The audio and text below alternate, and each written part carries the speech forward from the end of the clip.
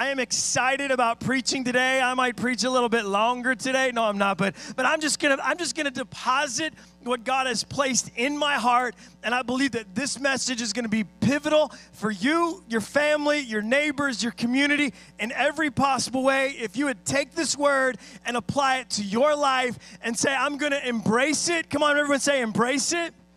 I'm gonna, I'm gonna re- remind myself with what Pastor's saying today that freedom is for me, freedom is, is what he's called me to live. So if you have your Bible, look with me in Acts chapter 12. And, and I've been working on this message for quite some time. So I have to, I'm one of those people that overthink everything. So I had to narrow it down so that I could give you everything that, that I believe you need. So if you like to take notes, look in the YouVersion app. If you look under events, the notes are there. It lets you know when I'm done as well. So Acts chapter 12, verse 1. It was about this time that King Herod arrested some who belonged to the church, intending to persecute them. He had James, the brother of John, put to death with the sword. When he saw that this met the approval among the Jews, he proceeded to seize Peter also. This happened during the festival of unleavened bread. In verse 4, it says, After arresting him, he put him in prison, handing him over to the to be guarded by four squads of four soldiers each. For doing the math, there were 16 men that were charged to guard one man. And I just want you to know before we even get into it, it's not enough. Hello? There is absolutely nothing that can keep God's presence from what He wants to take place. Boy, that's a great place to celebrate. Come on now, let that stir up in your heart. So, verse 5 So Peter uh, was kept in prison, but the church was earnestly praying. Let me say that again. Peter was kept in prison, but the church, who's the church? Come on, that's us. It's not a building, it's not an organization, it's people. The church was earnestly praying to God for him. The night before Herod was about to bring him to trial, Peter was sleeping between two soldiers bound with two chains and two chains, and sentries stood guard at the door. And verse 7, I love this. Suddenly, an angel of the Lord appeared and light shone in the cell. He struck Peter on the side and said, and woke him up. Quick, get up, he said. And the chains fell off Peter's wrist. Then the angel said to him, Put on your clothes and your sandals. And Peter did so. Wrap your cloak around you and follow me. And the angel told him. Peter followed him out of the prison but he had no idea that it was an angel was doing uh, what was really happening. He thought he was seeing a vision. And in verse 10, they passed the first and second guards and came to the iron gate leading to the city. It opened for them by itself, and they went through it. When they had walked the length of one street, suddenly the angel left him.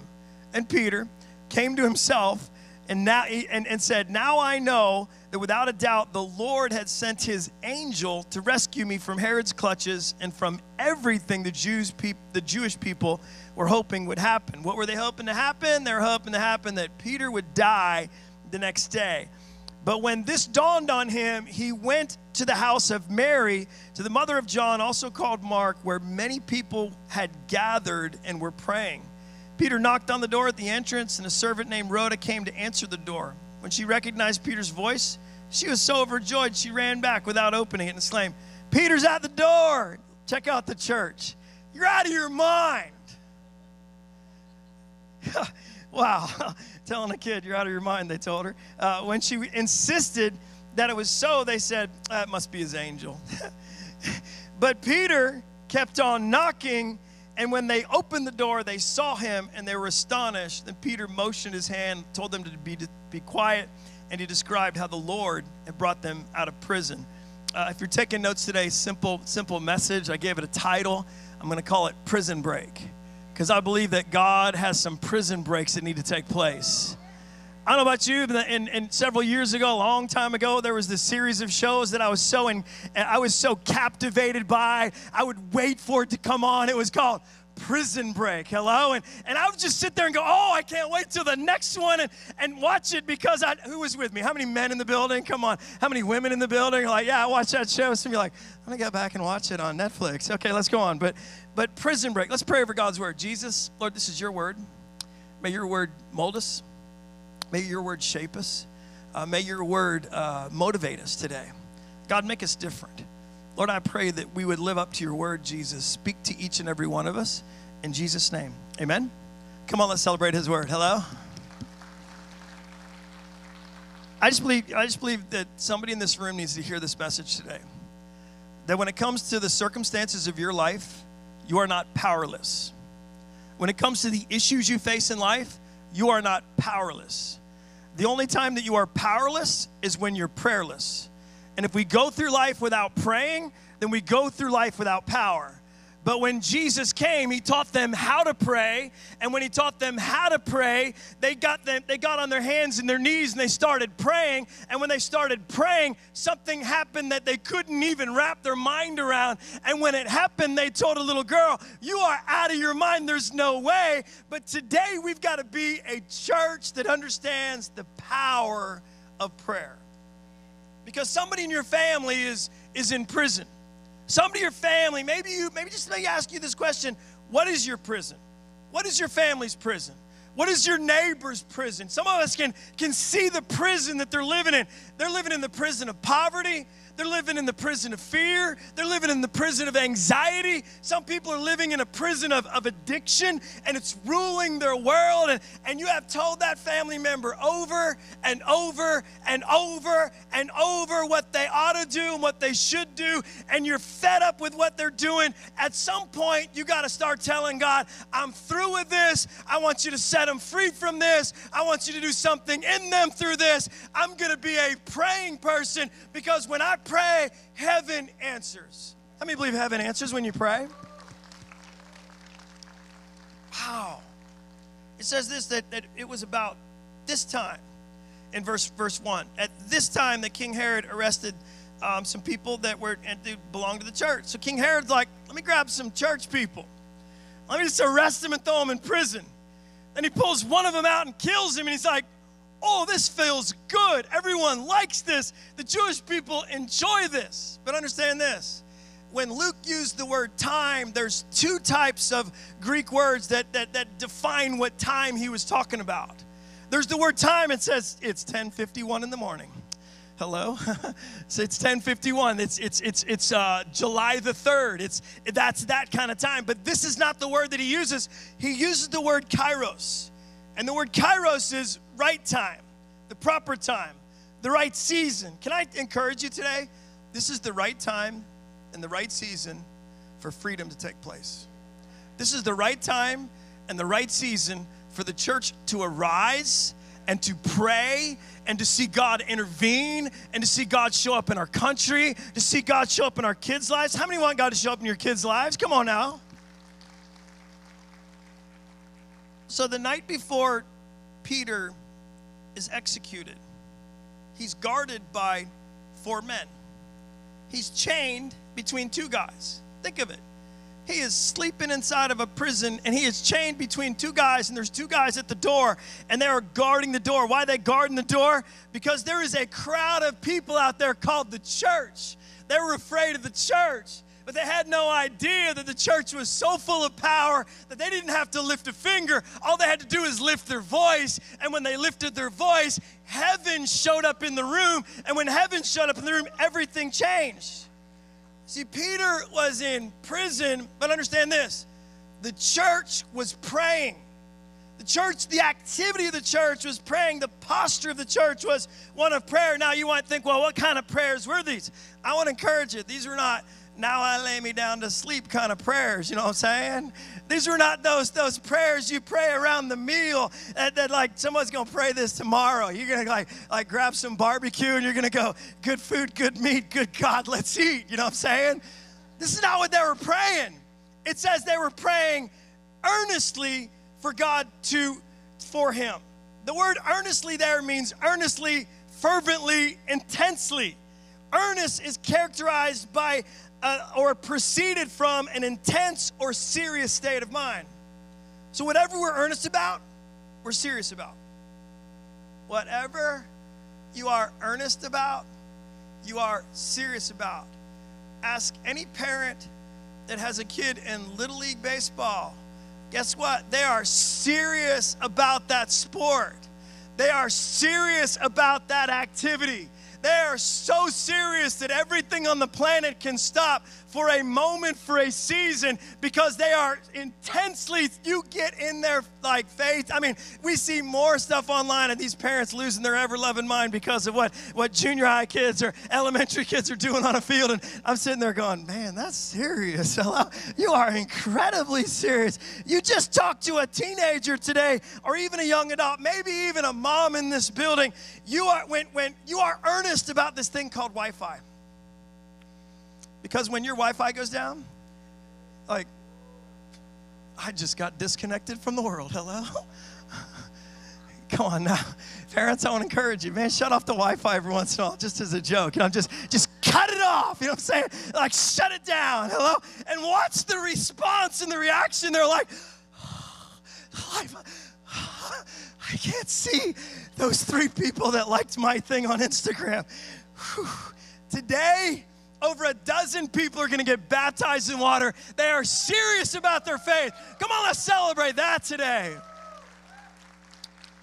I think, man, I, I haven't been, I'm, I haven't been baptized in water. Guess what? Today's a perfect day. It's hot outside. The tank is warm outside. We got a towel for you. We got a, a, a t-shirt for you. You know, change, put a t-shirt on. Get in the tank. How many think people ought to get in the tank today and get baptized in water?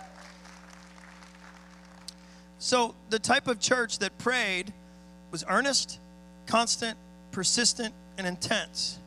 They got serious about the fact that it was the right time. They got serious about the fact that their leader, Peter, the apostle Peter himself, the apostle Peter that stood up on the day of Pentecost and preached, and 3,000 people came to know Christ. The guy that would share the word and encourage them, and they were following his doctrine. He was arrested, put in prison, and they said, We're going to keep him there until after the Passover because we don't want a riot to take place because there's going to be thousands of people that are going to come to Passover during this time. So, when all the people that are visiting get out of town, then we're going to drag him out, we're going to try him, and we're going to execute him because we're going to show how powerful we are.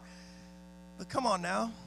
I don't care how powerful the ruler of that world was, Herod himself. God had another plan. Why? Because the church was praying. And when the church prays, heaven shows up and God does amazing things.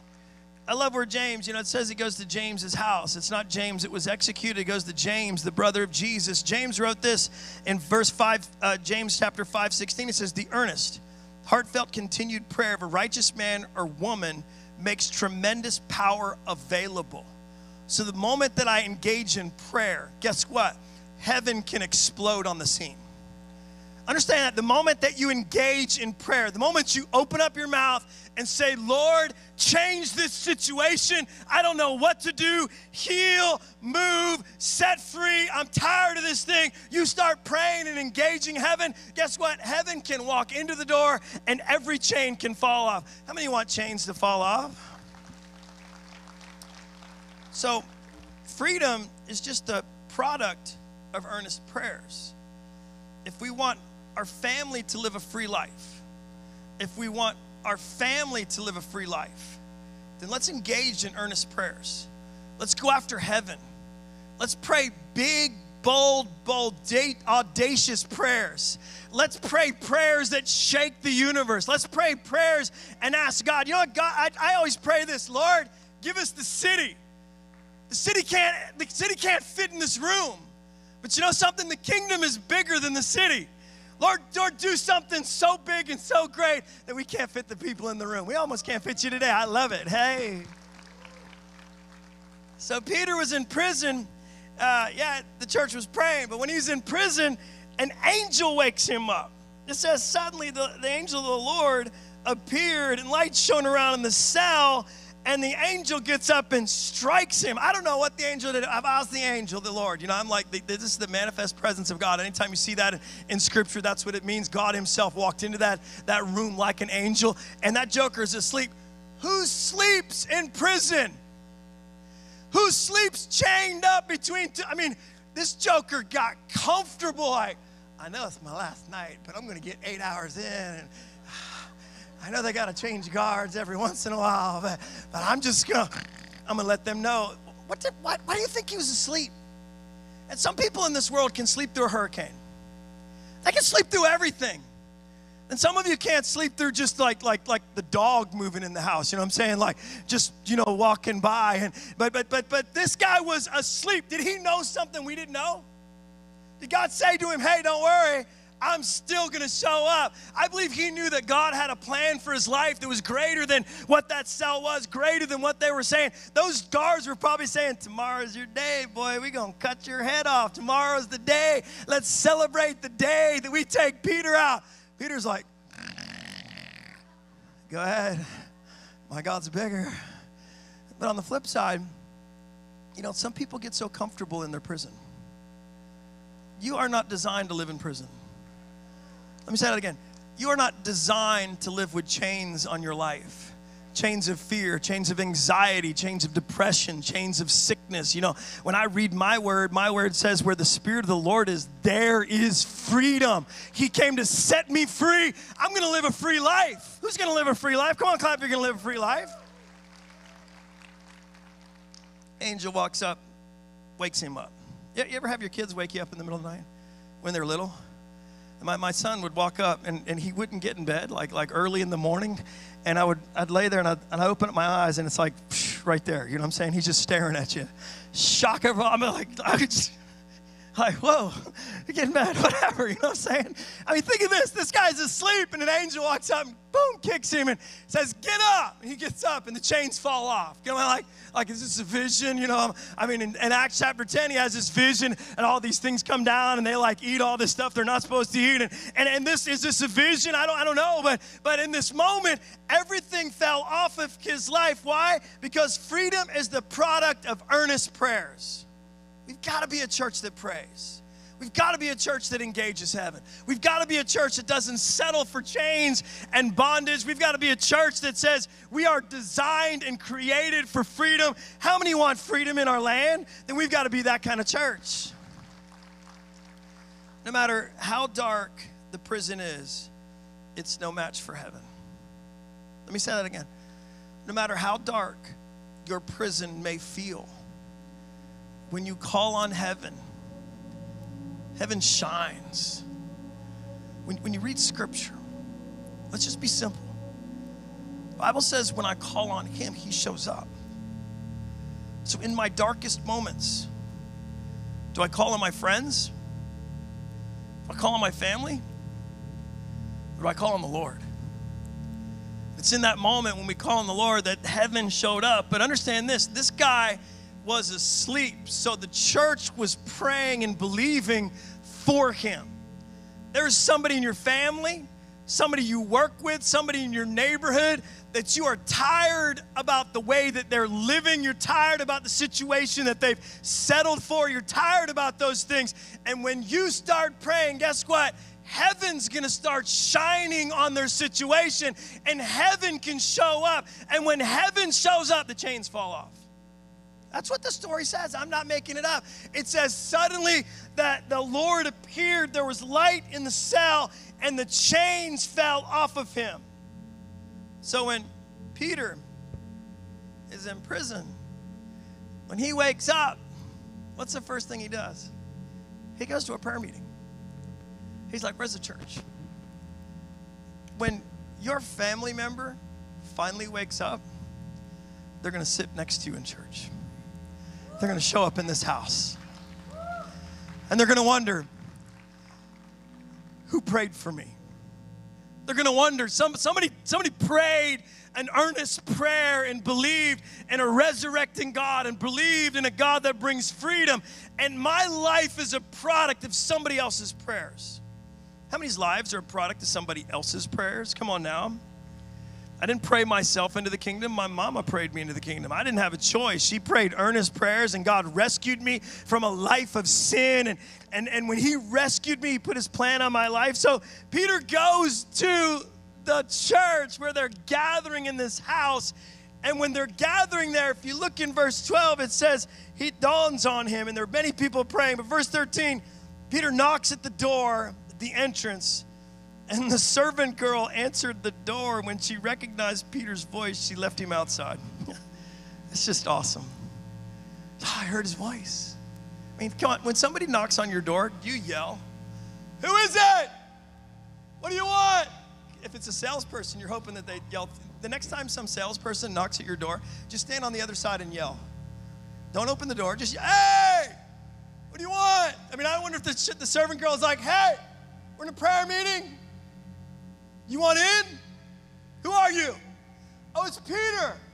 Oh, wow, and takes off running. She runs to him and says, Peter's here. I know you've been praying, he's here. What's the, what's the church's response? You're out of your mind. Why did they say you're out of your mind? Did they honestly believe what they prayed? How often do we pray prayers and then when God answers those prayers, we get astonished by the fact that He answers those prayers? Or, or better yet, how often do we pray prayers and God does it differently than what we expected? I wonder if they prayed, Lord, kill Herod, take out all those guards, let us rule the world, take it over. No, that angel shows up and walks him out of the out of the jail cell and brings him home, brings him to the church, and they're like, well, I didn't expect that.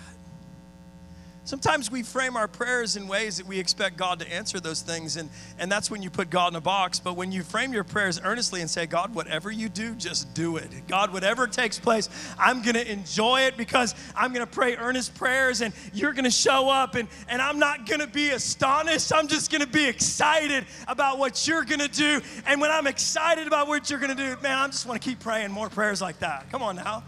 The moment that you start seeing God answer prayer, that's why in the fall and in the spring, we, we do a season of fasting and praying. We, we will pray seven days in the fall and we will, we will believe for God to do greater things. And people will fill out these prayer cards that are in your seat. And every Sunday, someone fills like several of them out. And, and, and it's amazing how incredibly detailed they put about how awful situations are and how they're saying, God, I need your help. You know what that is? Earnest prayer. Because freedom is the product of earnest prayers. If we truly want our situation to change, then start changing your posture. Start praying. Oh, how simple is that? Start praying. Start believing. Start moving towards heaven. Start opening up in the Word and say, Lord, you got him out of prison, you can get them out of anything. And you, you brought angel in and shook. I mean, they, there was like 16 people that were there to guard one person. He was chained between two of them, and they was stuck there. There, and guess what? The church must have thought, wait a minute. Just last week, James died. I guess Peter's next. But I believe there was a couple of them in that room. They're like, not on my watch. I am going to stand in the gap, just like the Old Testament says. And I'm going to pray, and I'm going to believe, and I'm going to watch God answer. I believe when they saw Peter, some of them smiled and said, Look what the Lord has done. Man, look what he did. Boy, he's a waymaker. He shows up in places. The chains just fell off. And, and Peter, Peter does what? He he explains, here's what happened. What happened was I was asleep between these two guys that kept taunting me and telling me today is your day to die. And, and I was just I was just trying to get I took my coat off and I tried to make a pillow out of it because that was on the floor between these two guys. And, and there were two guys that were there. And I know it's outside the city so so so I just the, the angel kicks me and I get up. And I think is this a dream? You ever have one of those deja vu dreams where you dream this dream and you wake up and you go did that really happen and then later on in life, God shows you something that does happen. Dreams are real at times. God uses those to speak to us at times. And I'm, I'm, some of you eat too much pizza at night and, and you dream about whatever, rule the world. Okay, but Peter's like, I get up and the chains fall off. They didn't like, the angel didn't touch me. The angel didn't, like, the angel woke me up, but he didn't touch the chains, he didn't do that. They just fell off. Can, can you imagine when you pray earnest prayers and you watch the chains fall off your family? I think he smiled, like, ooh, wow, that's powerful. And then he walks, and there's two guys standing at the door, and psh, they walk out the door. The angel opens the door. And then they walk towards the city, and the city has this huge iron gate. And it's closed because it's at night, and they don't let anybody in. He's walking towards the city where he was preaching a few weeks earlier. He's walking towards it, and just like Publix, you know what I'm saying? The door goes, where shopping is a pleasure, you know what I'm saying? Woo! Come on. I mean, I, you know, as a kid, you like playing with those doors, you know, making them go back and forth. And, choo, choo, choo, choo. I mean, come on. The, the door opens, it says automatically. That Greek word says it just on its own walked open, and, and he walks into that city in that moment. And that's the moment he realizes that the Lord was with him. I just want to encourage you, church. If you're praying for family members, don't give up. If you're praying for your neighbors, don't give up. I ride through my neighborhood on a regular basis. I say, Lord, save them. Do something in that person's life. We recognize certain things in, in homes and houses that live near us, and, and, and the power of prayer can change everything. And it's the moment that we engage the heavens and say, Lord, you created every person on this planet. You've got a plan for them to, to live in eternity. And we do what? We choose to pray big prayers. So I'd encourage you, when you're looking at your family, looking at situations, pray earnest prayers. Don't give up. Somebody in this room has been praying for 30 years for something. Listen to Pastor's heart. Keep praying, keep asking, keep knocking because the miracle was at the door. I mean, Peter says, Hey, it's Peter, I'm here. And they go back, Oh, you're out of your mind, it's an angel. And what does the miracle do? Keeps on knocking. Why? Because that was God's plan. Guess what? Freedom is God's plan. You keep praying, and the miracle is going to come knocking at your door. And it's in that moment you can just get excited and celebrate that this is what my God can do. He sets the captives free. How many want Him to set some people free? Woo. So the Bible says this, 2 Corinthians chapter 3. Now the Lord is the Spirit. And where the Spirit of the Lord is, there is freedom. Where the Spirit of the Lord is, there is freedom. Where is the Spirit of the Lord? The Spirit of the Lord is right here in this moment. And in this moment, freedom lives. Why? Because we gather in His name. Where's the Spirit of the Lord? The Spirit of the Lord is in us. Because when we say, Lord, I choose to follow you, His Spirit comes and, and lives inside of us. And where the Spirit of the Lord is, guess what? There is freedom. I can live a free life, free from addiction, free from burden, free from fear, free from anxiety. I've just got to recognize hold up, the Spirit of the Lord is here. He's in here. He came to inhabit here. And if He came to inhabit here, then He can set this place free. Maybe you're here today and you, have been praying, Lord, I need to be free of this thing. Then you pick up those chains. You get comfortable with, with your situation. Let Pastor encourage you. It's time to get uncomfortable. It's time to say, I'm, I'm tired of it. I'm tired of living a life that's chained to fear. I'm tired of living a life that's chained to anxiety. I'm tired of living life that's chained to the past. The past does not determine my future. My present, the Spirit of the Lord is here. He determines who I am and who I'm going to be because where He is, there is freedom. So, Jesus, I say yes to you and all that you have because I want to live a free life. How many want to live free? So maybe you're here today and you say, Pastor, pray for me. We're going to do two things. If you're living in bondage, exactly that. that was a perfect moment, you know what I'm saying? If you're living in a situation where the chains are just, they just, you know what they are, and you want to let go of those things, what a perfect moment to say, guess what? The Spirit of the Lord is here. I'm going to follow him. He's going to live in me. And I'm going to let go of those chains. And I don't even have to let go of those chains. Those chains are going to fall off my life. As I pursue Him and I, I, I, focus my heart on Him and I move towards Him, guess what? He will set me free. So we want to pray for you.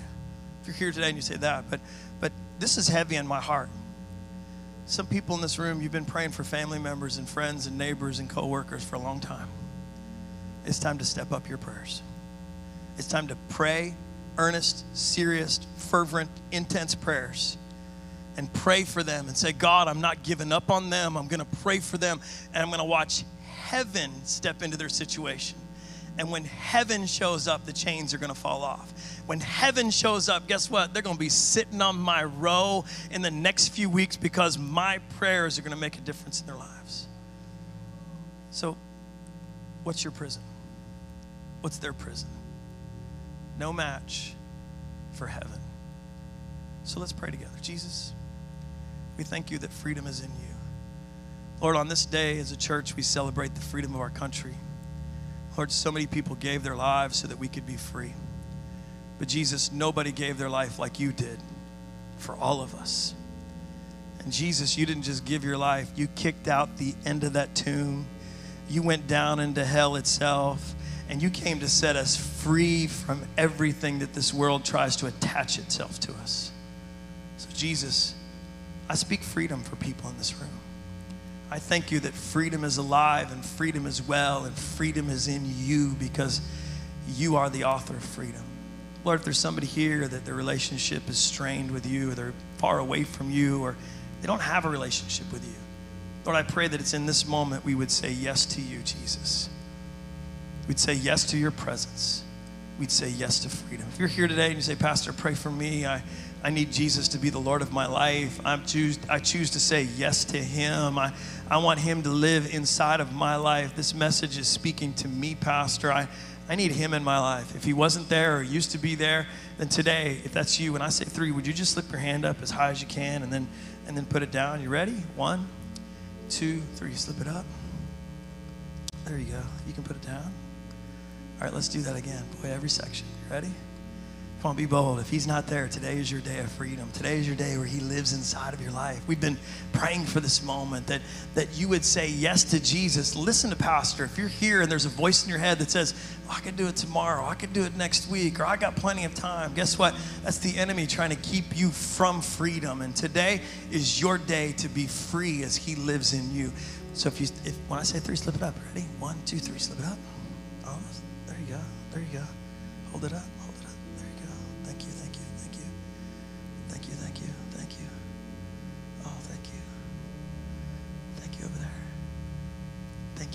You can put it down.